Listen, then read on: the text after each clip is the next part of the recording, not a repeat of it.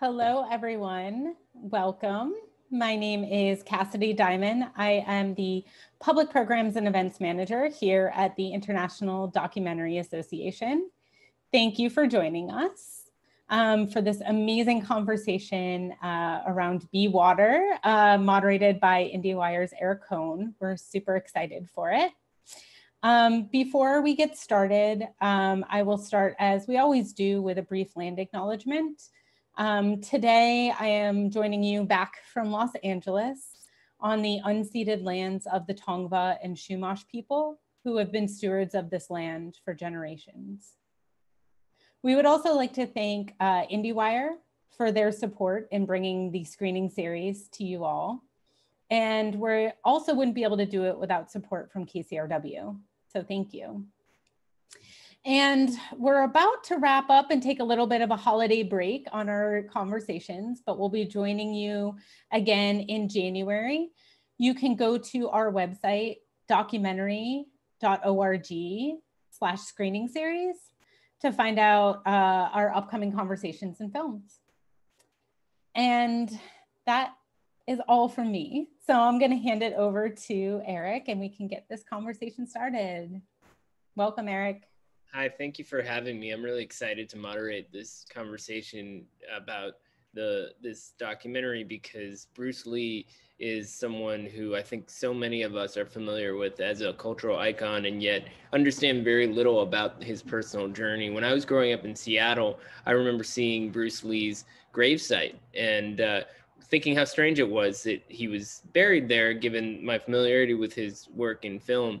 And uh, that I realized later on was one of the many sort of a, a, unique and unexpected chapters in Bruce Lee's life that brought him all around the globe. And watching this documentary really brought that into context for me, and I'm sure for many other viewers, that this was an actor who followed such an unusual trajectory in finding his place in, in society and in the entertainment industry, yet he remains one of the most important uh, entertainment artists of all time.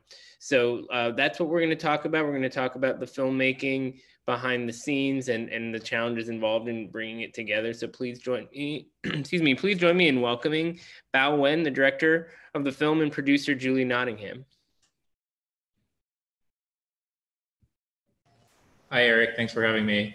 Hi, thank you both for being here. So first off, just to uh, kind of contextualize this, Bao, maybe you can talk a bit about your relationship to Bruce Lee and his work, and sort of when you first took notice of of him as as a star and as somebody worthy of a, a deeper look. Well, for me, I mean, I grew up um, after Bruce Lee had passed away, and so I wasn't watching the films in the cinema like many people um, who admire him did. Uh, I remember just seeing him on, you know, Saturday afternoon television where there was like a, a kung fu or martial arts hour and not knowing exactly what I was seeing because for the longest time I wasn't used to seeing, you know, people who look like me as an Asian American male play a hero, play the lead um, in in their story. So when I saw Enter the Dragon, it was really awe-inspiring to me just to see again someone who looked like me relatively um, play such a heroic role and play play a role that wasn't you know different from the Long Duk Dongs or you know uh, short round in, in Indiana Jones, always kind of the sidekick, never the hero. And for the longest time, Bruce Lee, because of this image that I had of him, he he became a, a symbol for me, a symbol of representation, a symbol of of confidence, especially Asian American male confidence but I, I, felt for the longest time I never knew he, who he was as a person. As you were saying, I think he he's become this cultural icon, this film icon, but we never understood all the struggles and past and difficulties that he went through as a person, especially as a you know uh, actor of color in 1960s Hollywood, which certainly is is difficult today, but to sort of try to make it in the 1960s. Um, was was a path and journey that I really wanted to explore through this film. And so, what was the starting point for you in terms of making this, you know, from being somebody invested in Bruce Lee's story to to uh, realizing that this would be your next project? For me, I mean, so my first film was called Live from New York, right? It's like looking at Saturday Night Live through a different lens, an anthropological lens, like I would say. Um, and these are big, obviously, cultural institutions, American institutions, and, and people might think that there's been enough stories told about them. Um, but you know, again, as an Asian American filmmaker and as a as a immig- child of immigrants, child of refugees who considers himself very much American now, uh, I always want to look at these different institutions with a slightly different tint, I would say, a different perspective than what you've seen them in. And I think, um, you know, this year, especially 2020, is reckoning of the past and reckoning of institutions. I think for ourselves as filmmakers, we can look at how we can reframe narratives and mythologies and institutions in a way that feel a bit personal and more honest uh, to ourselves. And and Bruce Lee was one of these people. You know, there's been many Bruce Lee documentaries since he passed away 40 years ago. But what we found, at Julie and I found out that there hasn't been a, a, a documentary that was made by a feature documentary that was made by an Asian American. And so I wanted to make sure that Bruce Lee's story wasn't just sort of um, lens in the view of again a cultural icon, but as an Asian American icon, as an Asian American. And I think that story has been lost in his sort of narrative over time, and um, that that really propelled me towards making this film. And as you said too, like knowing Bruce Lee as a human being, really humanizing the myth of Bruce Lee. So, Julia, what was your entry point to this project? You're gonna have to unmute comment. Apologies, apologies. Um, I was just about to say, so that, you know, Bao and I had known each other for quite some time. I was a fan of his first film, and we had been talking about Bruce Lee and, you know, a film um, or a feature doc around him. And it was really when Bao came to me and, and spoke to me about, I suppose, how we could make the how he wanted to make, make the film more personal and how this was his version of a Bruce Lee film and that really fascinated me that whole idea of you know I I just thought you know Bruce Lee was a martial artist who who did make it in Hollywood, you know, because I only had the back catalogue to watch, and you know, this is slightly gender stereotyped, but I learned everything about Bruce Lee through my brother, who was a huge fan, and, and just osmosis of him watching, and you know, um, and yeah, so when when Bao came to me with the idea, it felt so much more intimate the historical and, and cultural context that he was pitching with it was you know things i'd never heard and i just felt the meeting of those worlds in terms of you know Bruce Lee's journey, Bao's personal you know kind of journey as an Asian American, the history he knew, the culture he knew, you know all of that coming together was was a really excited exciting proposition. Um, I mean, it was very very hard film to make, as he knows, because it took many years. Um, you know, for us to get the right access and the right permissions with everyone from kind of Warner Brothers to um, you know the family. But um, yeah, well, yeah, let's let's talk more about that. About at what point did you start to realize just how challenging this was going to be? I mean, what sort of access from the get go did you know you needed in order to tell this story? Well, um, yeah, touching upon what Julia said, I think it wasn't just the access, but also Bruce Lee having passed away at such a young age. There wasn't that trove of archive that you would want, you would expect from someone who's such a now such a cultural icon, right? um, I knew that there was only one English language interview, the Pierre Berton interview, that is pretty much the main kind of source of the film um, that existed, and that you know that that tape was found in the 90s, and I was hoping in the span of the five years that we were making the film that we'd have some sort of um, you know discovery of, of, of archival, and, and unfortunately we didn't. Um, so that was trying to, you know, use Bruce Lee's voice as much as possible to tell the story, but knowing that there's only a 25 minute interview that we can use was definitely difficult. And also, um, as you were saying, finding kind of getting the permission of the family. And I, I always wanted to make a film that wasn't necessarily, um, you know, produced by the family, and they they didn't produce the film at all. But I I wanted to pay respects to the family because obviously, if you're going to tell an intimate story of a person, you want to talk to his daughter and his widow and, and the people who knew him closely. And that meant um, creating relationships. And I, I never wanted to think of of my um, relationship with the family as being transactional. It was something that was built over time um, that started five years ago, really, and it, it, took a lot of phone calls for them to even to to even talk to me. Uh, as you can imagine, there's many people who want to make a film about Bruce Lee that are constantly pitching the family a film about Bruce Lee, and I had to come in with that very specific angle of and perspective of being an Asian American and wanting to tell it through that lens because it was something that I felt like I could only tell, um, again, as an Asian American filmmaker and as a special connection to Bruce Lee in that way.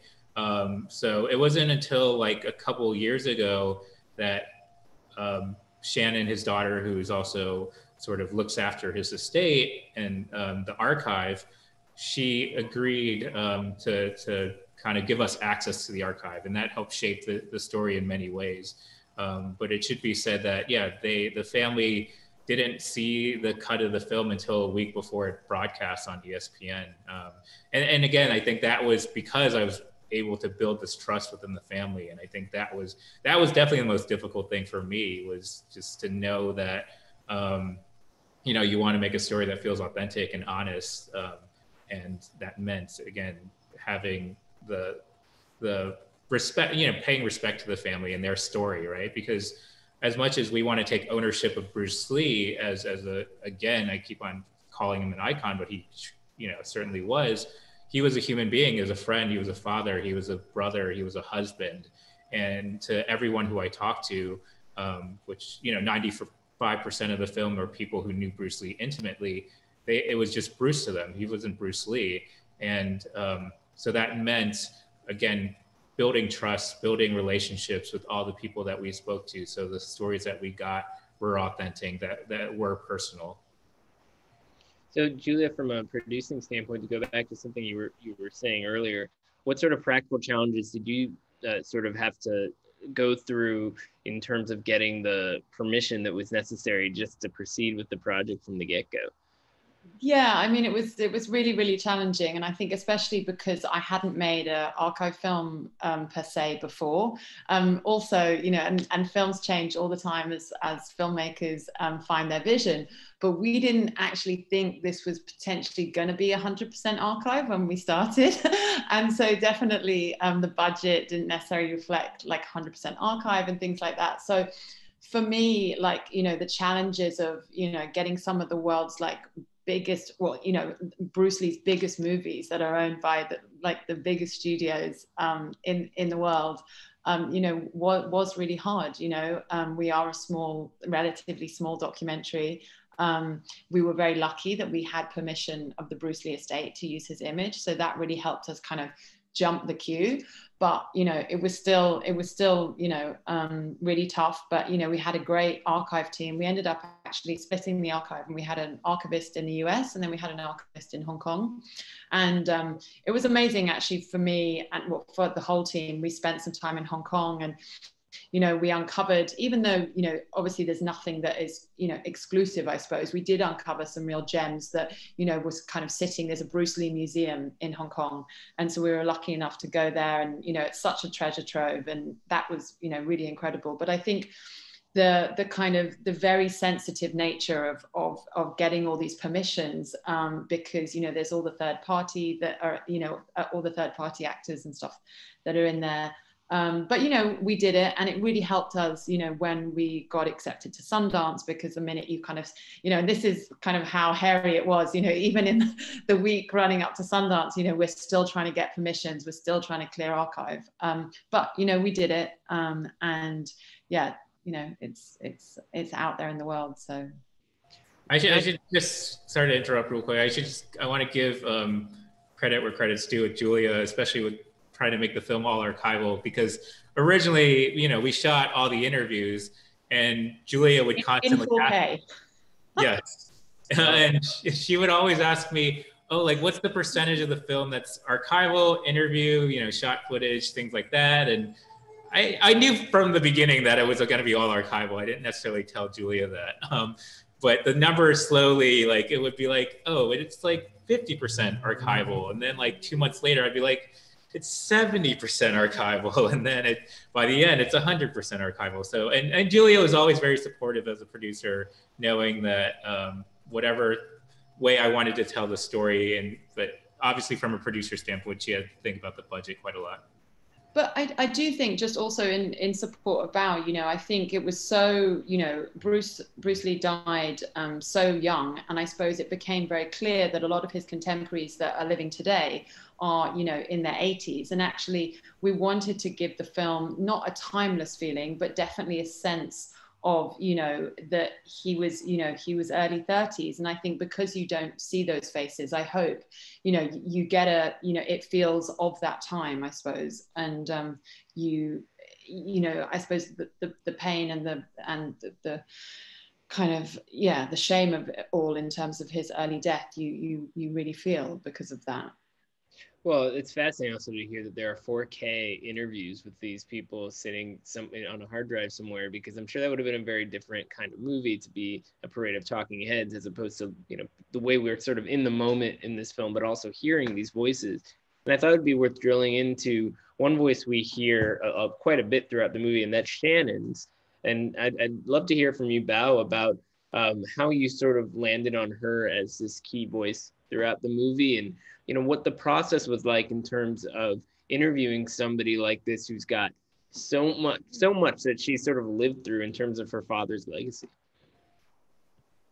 Well we knew that we wanted to really include bruce's writings throughout the film because he was such a prolific writer and we that was a way to give him a voice right? To give him a bit more personality a bit more character without having you know you know sadly that he's not alive to speak for himself and we went back and forth a lot about who would read these these um, these writings. And you know it went from like oh we'll hire an actor like a henry golding or someone who can like who can sort of speak to the struggles of being an asian american actor or maybe have a whole sort of cast of, of different people who can speak to it. Um, and it, you know it was a it was a discussion with uh, our editor graham julie and i and and Shannon, who has really been immersed in her father's story and her father's writings for so long, um, came up, and and she was obviously one of the top choices. But she's really one of the only people in the world, or you know, sadly, because Brandon, her, her brother, Bruce's son, passed away tragically, who literally has Bruce Lee's DNA in her still, right? And there's something to be said about that. There, there's you know something that's unspoken that we can't express that no actor could express. And and i think we want it to feel genuine as much as possible. And i think shannon does that really beautifully. And i mean obviously there was some some pushback the idea of having a, a woman read for bruce lee and making it feel jarring. But i think in a way she's reading the letters and the writings like she has just discovered them. It, it's it's it's somewhat of a moment that is placed in the present, but it's also kind of placed in the past, right? And I, I was pretty um, adamant that there was a line at the end of the film where you know Bruce Lee has passed away, and she talks about finding these letters and how she found solace in reading them, especially after uh, her brother died. And um, I think that was a way to tie in the the sort of device of her her reading it throughout the film um, because it, it, it, even though we, as much as possible, through not showing the interviews, the present day interviews, and only showing archival, those moments where she's reading a letter is sort of our entry point into the present day um, in, in some ways. The other thing I think is kind of fascinating about the way the film is structured is that it doubles as this kind of film essay of sorts on American media and the role that it played in perpetuating stereotypes about Asians that kind of calcified in popular culture. And that it gives you a real direct sense of what Bruce Lee had to push back against. And that's a very ambitious kind of big picture sort of thing to put into a movie that's, you know, sort of about one particular subject. So can you talk a bit more about, you know, how much of that you wanted to make sure to address directly in the film without, you know, taking away from the Bruce Lee of it all?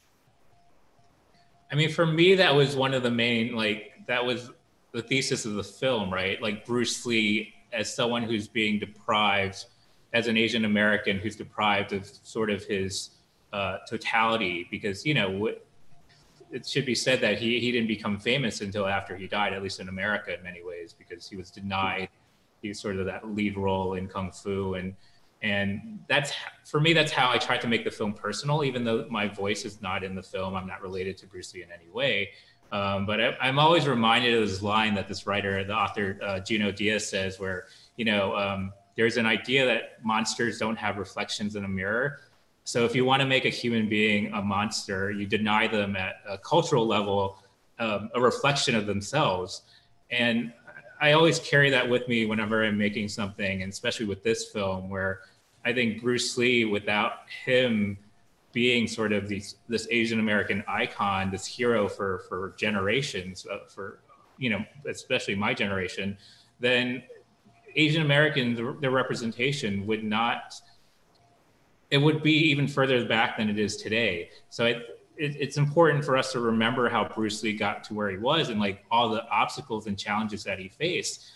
Uh, I mean, one thing um, that is kind of a sad point of Bruce Lee's life um, is that he, you know, he was watching all these depictions of Asian Asian Americans on screen, and he never had this this desire to become an actor, even though he was very prolific when he was a young child in Hong Kong. He was in uh, many films, basically the Macaulay Culkin of Hong Kong when he was younger, he didn't think that Hollywood America would have accepted an Asian as as a lead, as a hero in his time, right? So that's why he never pursued it. It was just this this random event where um, Jay Sebring saw him at this tournament in Long Beach that propelled him and motivated him to to pursue acting again. So it just co- goes to show that how important representation is that even someone like Bruce Lee, who has this charisma, has this stage presence, like he didn't think that he would make it in Hollywood because there weren't examples, there weren't um, reflections to go back to the Junot Diaz line of himself. And I think we're still having that conversation in the industry today, right? Of like why representation is so important, why, um, why especially BIPOC filmmakers, artists are speaking out and feel like they've been denied like this access, this um, sort of agency to tell their own story. And I think Bruce Lee is a perfect example. Like if Bruce Lee didn't have this random lucky coincidence happened, then we wouldn't have Bruce Lee and where would we be now today? And so I think that was so important to, again, towards the themes of the film and the themes of Bruce Lee's life that I had to include it. It's, it's yeah, go ahead, Julia. It seems like you. No, I was just going to say, you know, from that historical context side of things, you know, especially, you know, um, when we have spoken to audiences after watching the film, you know, I think that that backdrop and uh, of what was being what was experienced by you know Asians in America and then Asians America Asian Americans I think you know that historical context is so important to understand you know Bruce the people around him you know all, all of those things. And I think that's you know those were the two worlds that we really wanted to meet because to, to meet in the film because it yeah it gives you that context to to to understand Julia, can you talk a bit about the uh, ESP, the way ESPN played a role here? Because technically, I know this is part of the 30 for 30 series, mm-hmm. and the thing we're talking, we're talking about a you know a movie star, the entertainment industry. You know, when we hear ESPN, we think sports. So Mm-hmm. How, what do you how do you see that context being relevant here? Yeah, so I mean, obviously, I've made a, a, a few feature docs.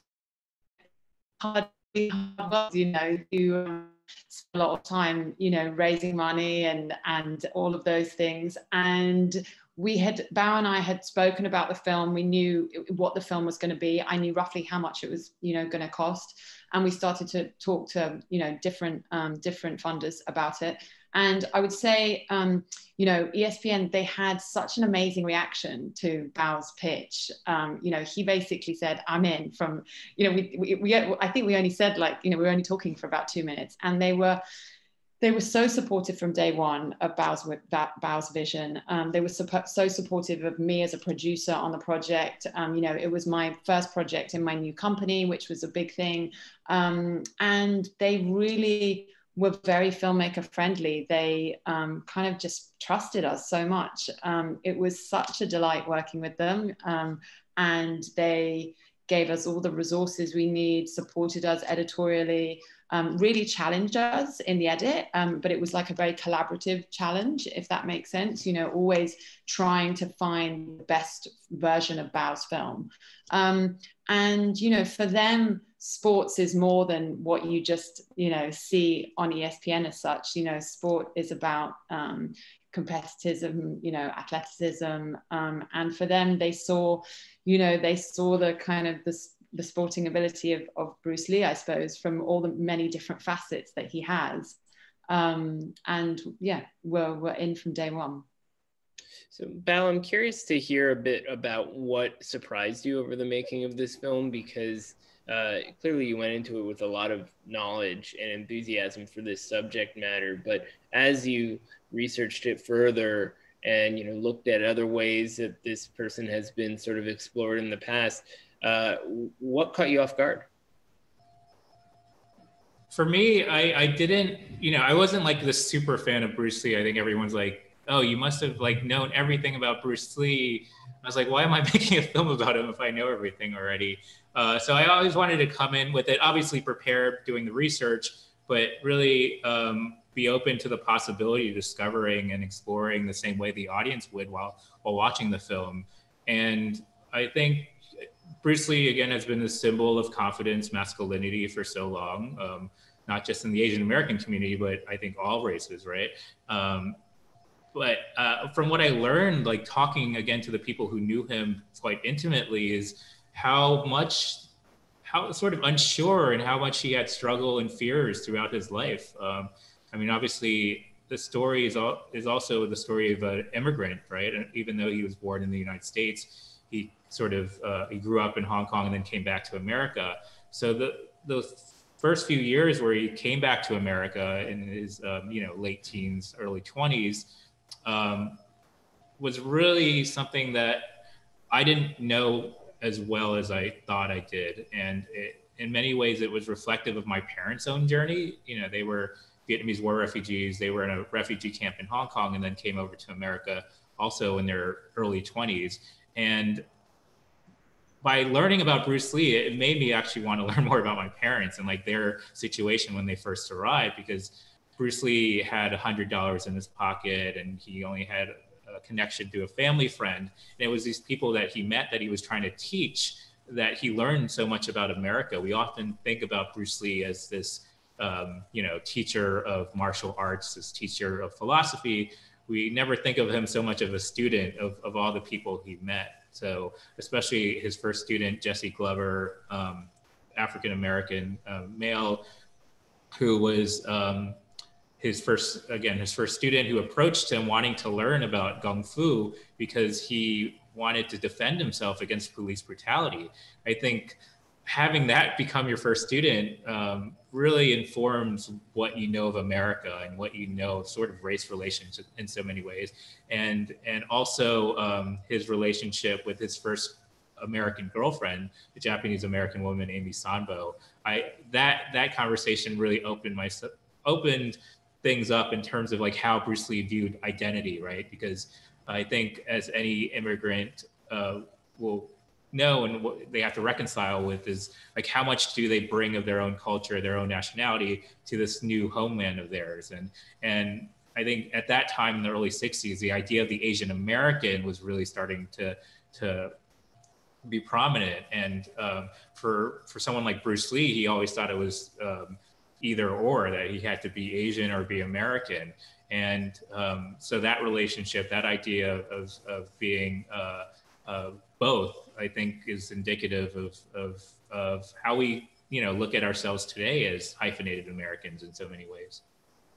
The movie also feels like it's sort of a corrective to how Bruce Lee has sort of been this pop culture figure seen through the lens of his movies over the years. I was thinking about you know the fact that, you had this movie come out into the world after Once Upon a Time in Hollywood. It stirred up conversations about you know the depiction of Bruce Lee there, uh, and uh, it just seems like you know in the wake of his passing, every few years there is some sort of resurgence of interest in Bruce Lee that's seen through you know the fog of time and whatever filter the movies create what do you think is sort of the the biggest um, fallacy of of uh, kind of the canonization of Bruce Lee that you know having made this movie you're hoping to correct?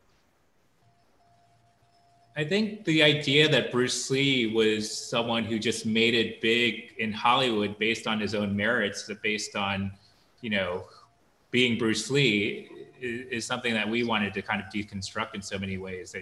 For me, it was that tragedy of Enter the Dragon coming out almost immediately after he dies, right? After his sudden death, that was so important. Um, for the most part, I think people know that Bruce Lee died, but there's there's sort of this expectation in the story in many ways of like, okay, this is when he dies, right? There's no sense of tragedy, no sort of emotional connection to to him. And one of the things that I wanted to do again is unravel and unpack the mythology of Bruce Lee. He's beyond him as a martial arts icon, beyond as a pop culture icon. That he was someone who again faced a lot of struggle, that had to go up against a system that wasn't ready for him. And it, it might be some people might think that oh hollywood is a very progressive system or progressive industry but someone with again the charisma of bruce lee with um, he was denied him you know his full self his his stardom in many ways his fame because of where he came from and what he looked like and so i think it's important that we constantly re-examine these sort of fallacies of, of of Hollywood and of mythology and of heroic, you know, American mythology and what what it means to be American. Um, I think this year, given our you know outgoing president talking about the Wuhan flu and uh, Wuhan virus, the China virus, the Kung flu, um, it's more important now than ever to to talk about stories like Bruce Lee and and show us show um, you know show what Americans look like that they don't just look like one type of person, one demographic, but they're they're they're all encompassing of, of this country. And um, you know, I, I don't think this film and any documentary is definitive of any subject, right? I think as generations go on, we're we're constantly re-examining and, and um, reshaping and redefining what our stories and mythologies are. I think, as Bruce Lee said in, in the title of the film, "Be Water," you we have to be fluid. We have to not stick to rigidity and systems that we've been told over time because that's what kind of um, stagnates progress in so many ways and stagnates i think even us as filmmakers as artists we want to make the best type of art and stories and films we can so i don't know why people are are so hesitant to have uncomfortable conversations because i think only great art comes from having these uncomfortable conversations well, off of, off of that, um, I'm curious to know how you think uh, society or, or the industry at least has changed since Bruce Lee entered into it. Uh, is there anyone out there you think who sort of embodies what he was trying to accomplish uh, sort of at the height of his career or is sort of carrying the baton in any particular way? I mean, it's hard to sort of carry the baton of Bruce Lee in so many ways, right? I think um, what Bruce Lee didn't have when he was in Hollywood was really um, a huge community, right? A, a, movement of people who are speaking up about representation, speaking up about like the you know the importance of, of BIPOC stories. And um, one thing that has changed today, I think, is like a lot of people are speaking up, and a lot of people are willing to have these uncomfortable conversations. I think even someone like Bruce Lee, who obviously has very strong feelings, there's certain parts where he had to be a bit diplomatic in his his thoughts and his opinions because he knew that there weren't many opportunities for for people who look like him. I think we need to again be willing to have uncomfortable conversations and and open up. Um, so I think you know there's uh, all different types of communities who are, are showing what it means to be represented um, from the disabled community to, you know, obviously all BIPOC communities. And um, we, we just sort of need to keep pushing things forward instead of like um, thinking we should always be grateful for what we have. I think gratitude gets you so far and then it, it becomes like, how do we create equity, right? True equity in, in the industry. off of your research, you know, you, you spent a, a lot of time with, with Bruce Lee's filmography. Um, I'm sure a lot of people who are sort of newbies will think of Enter the Dragon first and foremost, but is there a performance or, or a film that, that, that he was in that you think deserves more attention? Well, there is a film that came out like, um, I know Julia's smiling because she knows what I'm going to say. Uh, there's a film that came out in Hong Kong. It was his last film before he, he moved to America called The Orphan. Um, and for me, it's so important to have you know, his, his films when he was adult were great. Um, but you know, most of them are dubbed. And so you lack his voice in it. And the, or I mean, Enter the Dragon is obviously his voice. Uh, but The Orphan is an example of a film where you kind of see Bruce Lee became, you know, and just right before he came to America, you know, right while he was still you can see all the charisma that he had, the performance, his uh, stage presence, but you, it wasn't kind of um, veiled through the lens of Hollywood, right? And and I think and I and I think also it was sorry to interrupt. I was just going to say because uh, you know, especially if you know the blockbusters, yeah. we watched it. We were lucky enough to watch it when we went to Hong Kong, which I I think Bao stop me if this is wrong, but you can only watch it in Hong Kong there's no other way to watch the movie. Yeah, that's the one caveat I should have said earlier. Yeah, I mean, yeah, it's, you can't find it here. well, no, it's not. I don't think there is any. There is no distribution. Basically, it's you know. I mean, that's for a whole nother panel. You know, films that have you know, um, not don't have um, the distribution and the you know the rights are tangled up. But it's it is the most wonderful film, and for for me especially, I think it is him you know you can see he's i don't know he's taking his perform his performance is very authentic and it feels like of that time you know he was having um, I don't know, you know, potentially, you know, so, some struggles himself. And I think you watch this film and you see a young man that is, you know, you watch him and he is about to come to America, and you know, um, it's really special. So I recommend if anyone is in Hong Kong to um, to go to the archives and and watch this. Make a mental note. Next time in Hong Kong, go to the archives. It's it's fantastic. It sounds fascinating. Thank you so much, both of you, for being here. I, I, feel like we could go another hour just talking about Bruce Lee and the big picture you got out of this, but the film does a lot of the talking for you. So congratulations on, on putting it together, and thanks again for being here. Thank, Thank you for having us, Eric.